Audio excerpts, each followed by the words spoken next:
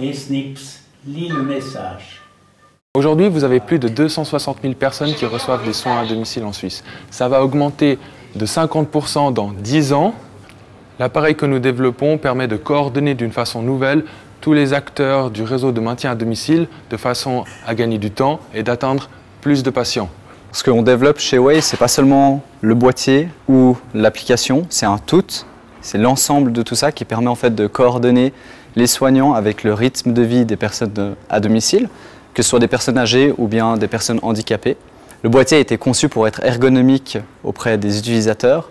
Il a été conçu pour être sécurisé, en particulier nous travaillons hors ligne. Et la fiabilité est à toute épreuve puisqu'il fonctionne s'il y a une coupure de courant ainsi que s'il y a une coupure de réseau. Pour nous, cet outil, c'est un outil du futur qui intègre tous les éléments nécessaires à une prise en charge optimale des patients. C'est un outil qui est humain. C'est aussi un assistant qui fait que demain, euh, il existe un lien entre la réalité du terrain et les personnes qui sont plutôt en back-office et en gestion.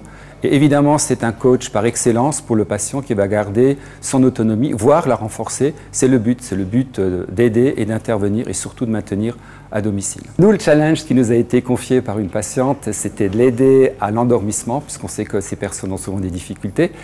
Et cet outil, grâce euh, à des apports réalisés par des hypnothérapeutes, ont réussi à induire euh, d'une façon tout à fait euh, physiologique le, le sommeil. Donc stop à la chimie, pour nous, c'était une grande réussite.